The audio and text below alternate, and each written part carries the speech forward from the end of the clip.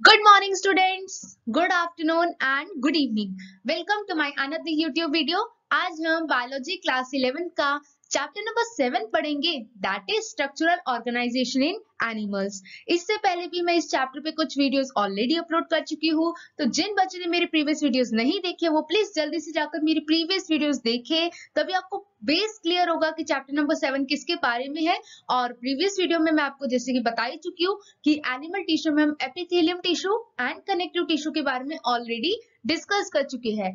आज की वीडियो में हम पढ़ेंगे कि muscle tissue and neural tissues कैसे वर्क करते हैं। चलो भाई, शुरू करते हैं मसल टिश्यू से। मसल टिश्यू क्या होता है स्टूडेंट्स हमारे पास? ये तो आप सभी को पता होगा कि हमारे अंदर बहुत सारी मसल्स प्रेजेंट होती है और मसल्स की जो है बहुत इंपॉर्टेंट काम होते हैं। वर्क बहुत इंपॉर्टेंट करता है हमारी बॉडी में, यानी कि हमारे पूरे बॉडी पार्ट के मूवमेंट में बहुत इंपॉर्टेंट रोल प्ले करता है सबसे पहली बात तो मसल टिश्यू ठीक है, इसके अलावा वो रिलैक्स करता है कॉन्ट्रैक्ट होता है।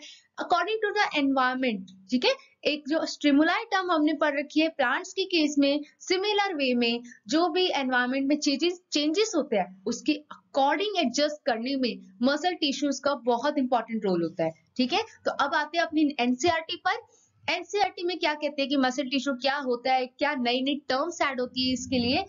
Each muscle is made of many long cylindrical fibers arranged in parallel arrays. हर मसल जो है long cylindrical fiber से बनी होती है, जो पैरलर तरीके से अरेंज होती है, ठीक है? सारी मसल्स हमारे पास लॉन्ग होती है सिलेंड्रिकल वे में प्रेजेंट होती है, ठीक है? और एक दूसरे के पैरलर अरेंजमेंट में सेट होती है। These fibres are composed of numerous fine fibrils तो ये जो फाइबर्स है, वो बहुत सारी चीज़ों से फिब्रिल्स फिब्रिल्स के बारे में हमने प्रीवियस वीडियोस में भी पढ़ा था तो जिसको ये टर्म क्लियर नहीं है, वो मेरी प्रीवियस वीडियो ज़रूर देखें, ठीक है? ये छोटी छोटी टर्म्स आपको क्लियर हो जाएगी एंड जिसे हम कहते हैं मायोफिब्रिल्स तो ये जो फाइबर्स होते हैं, वो बहुत सारे छोटे छोटे फिब्रिल्स प्रोटीन स्ट्रक्चर की जो बनी हुई फाइबर्स होती है, उससे बने होते हैं, जिसे हम मायोफिब्रिल्स कहते हैं।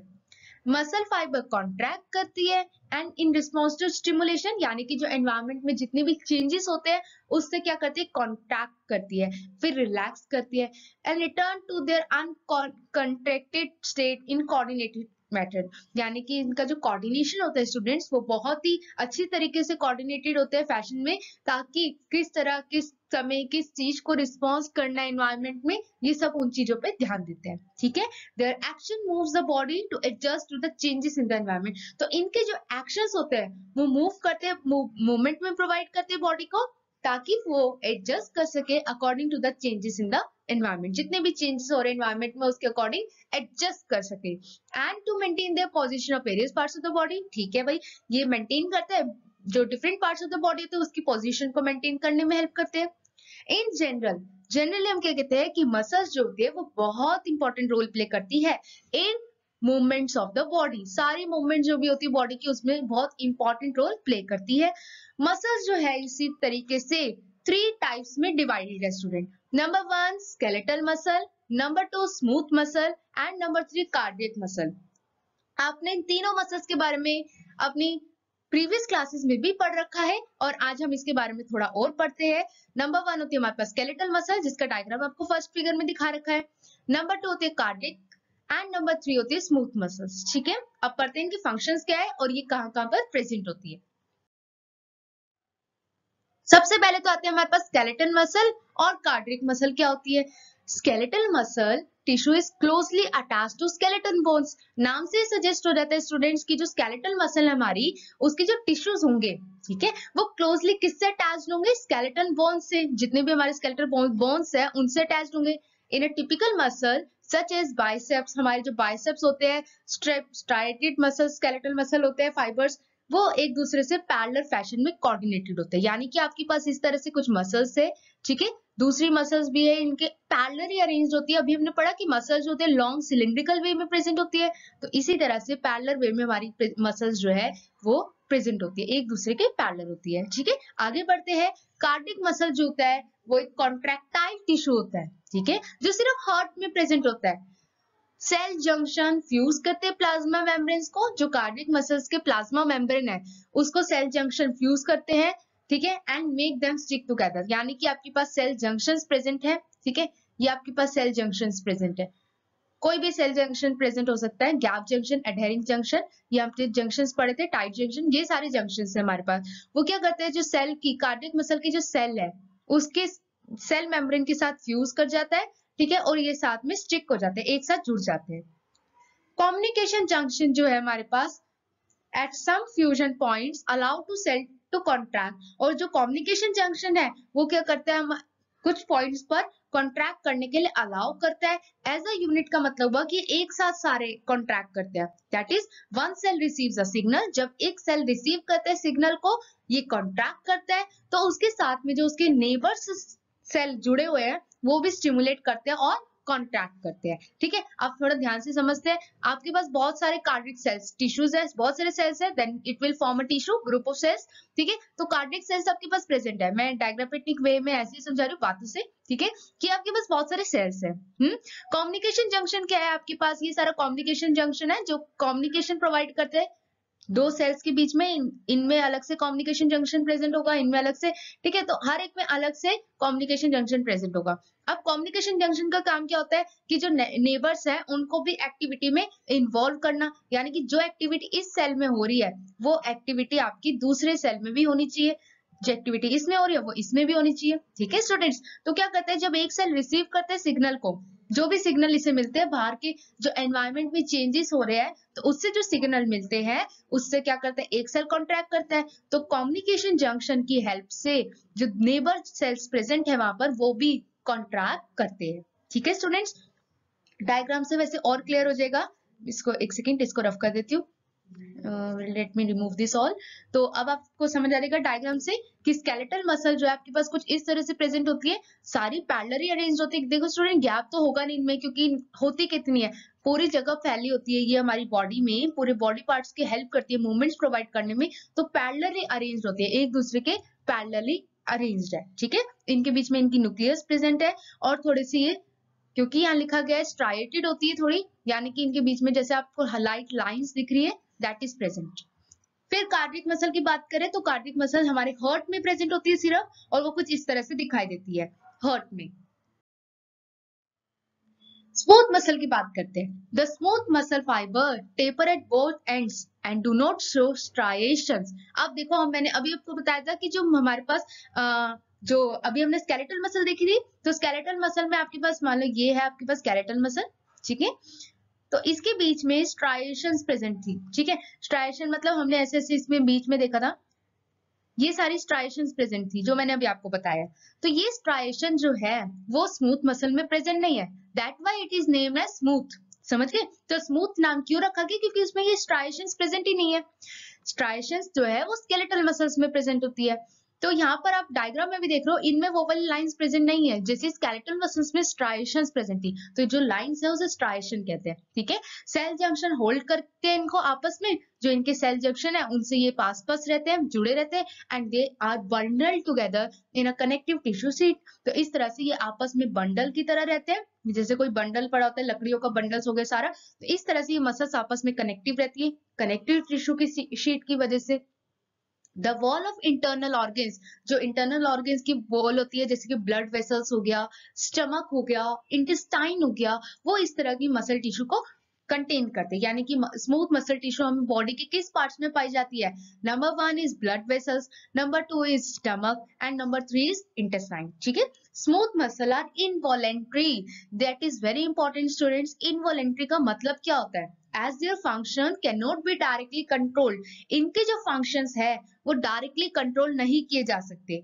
फॉर एग्ज़ाम्पल जो अभी हमने देखा स्केलेटन मसल ठीक है? स्केलेटल मसल देखा, उसमें क्या था? वो वॉलेंट्री थी।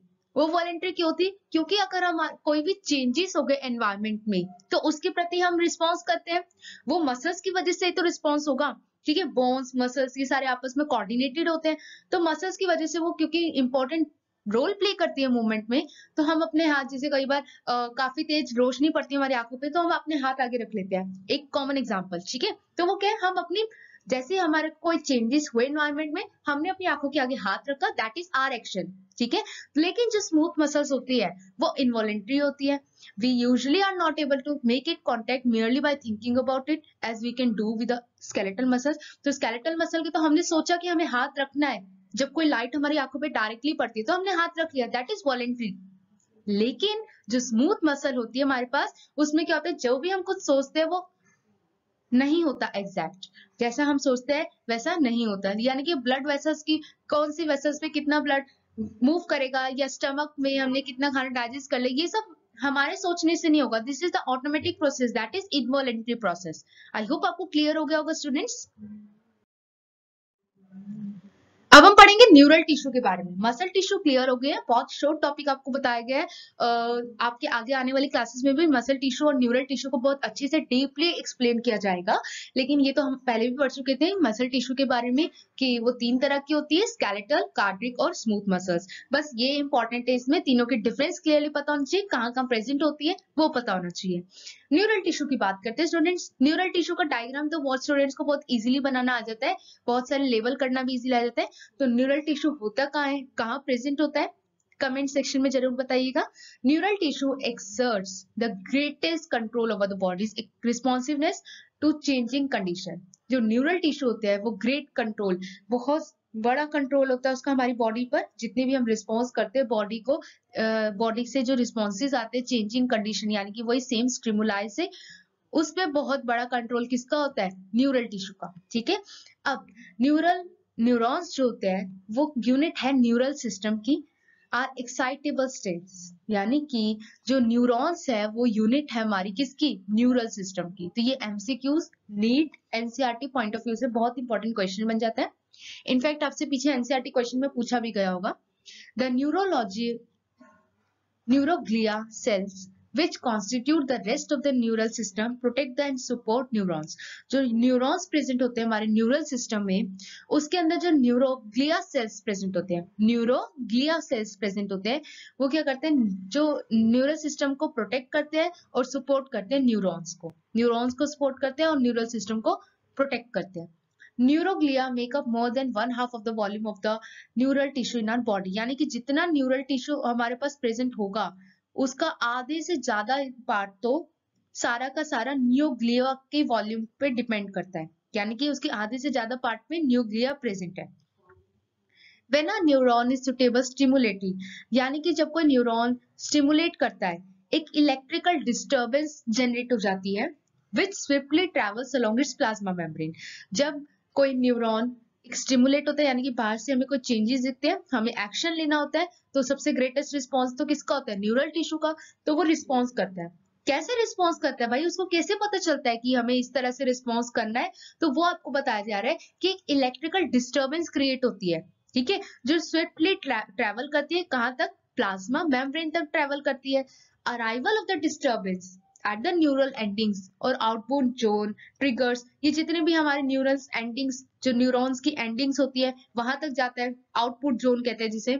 ट्रिगर्स करता है इवेंट को दैट मे कॉज स्टिमुलेशन और inhibition of adjustment neurons and other cell यानी कि एक तरह से उसमें जैसे सिग्नल्स प्रोवाइड कर देता है, ताकि वो स्टिमुलेट कर सके, या जो चेंजेस हो रहे हैं, उनसे स्टॉप हो सके। तो जो साथ के और न्यूरॉन्स प्रेजेंट होते हैं, उनको भी ये काम करने के लिए कर रिस्पॉन्स करता है। ताकि वो दूसरे सेल्स जो है उसके आसपास वो भी रिस्पॉन्स कर सके। ठीक है? ये आपको पूरा डायग्राम दिखा रखा है structure of a typical neuron neuron का स्ट्रक्चर कैसा दिखता है? ये स्ट्रक्चर तो आप सभी ने ऑलरेडी बना बना रखा होगा टेंथ क्लास में, ठीक है? तो इसकी प्रैक्टिस इसका डायग्राम बहुत इजी है और आता है पेपर्स में। तो सबसे पहले अगर हम ऊपर से शुरुआत करते हैं तो डायग्राम में सबसे ऊपर जो आपको जहाँ से सिग्नल्स जनरेट होते हैं ठीक है? जहाँ से सिग्नल्स जनरेट होते हैं that is known as dendrites ठीक है? जितने भी ये सात का पोर्शन दिख रहा है one two three four five and six ये सारे क्या है हमारे पास? डेंट्राइट्स है। यहाँ से सिग्नल्स जनरेट होते हैं। फिर जो हमारे न्यूरल टिश्यू है, क्योंकि तो उसकी न्यूक्लियस होगी एक सेंटर में हमने न्यूक्लियस देख ली इसकी, ठीक है? सेल बॉडी ये पूरा साइटोप्लाज्म जिसे हम कहते हैं, आम भाषा में that is the cell body ये सेल बॉडी है। अब एक्सोन क्या होते हैं? जो लॉन्ग सिलेंडिकल असेंडिंग पार्ट जो होता है हमारे पास that is known as axon जो आपको मार्क करके दिखाए गए इसके साथ इनके बीच में कुछ सेल्स छोटे छोटे प्रेजेंट होते हैं शीट टाइप ठीक है? जिसे श्रवण सेल्स कहते हैं, ठीक है? ऊपर आपको नाम में मेंशन किया गया that are known as Schwann cells and ये इसके बीच में, इसके बीच में जो इसकी लेयर है the orange one part is known as Schwann cells और जो इनकी येलो लेयर है that is known as myelin sheath myelin sheath का बहुत इंपॉर्टेंट रोल होता है स्टूडेंट्स अब आगे बढ़ते हैं नोड ऑफ़ रेनवियर ये नोड ऑफ़ रेनवियर वैसे आपके कोर्स में नहीं है, ठीक है? इसके बारे में आप हायर क्लास में पढ़ोगे कि इसका वर्क क्या है, आगे आने वाले चैप्टर्स में. और लास्ट में जो न्यूरॉन्स की पूरी जो एक्सोन की एंडिंग्स होती है टर्मिनल्स को हम एंडिंग भी कहते हैं, ठीक है? एंडिंग तो जो एंडिंग होती है that is known as axon terminal ending let me write it's clearly ठीक है तो जो एंडिंग होती है न्यूरॉन एक्सोन की that is known as axon terminals तो इस तरह से पूरा आपको टिपिकल न्यूरॉन का स्ट्रक्चर दिखाया गया dendrites nucleus cell body axon myelin sheath node of Ranvier Schwann cells axon terminus ये कुछ पार्ट्स है जिसको लेबल करके डायग्राम बहुत अच्छे से आते हैं. अगर आपको इस डायग्राम में कोई डाउट है तो आप मुझसे कमेंट सेक्शन में पूछ सकते हैं।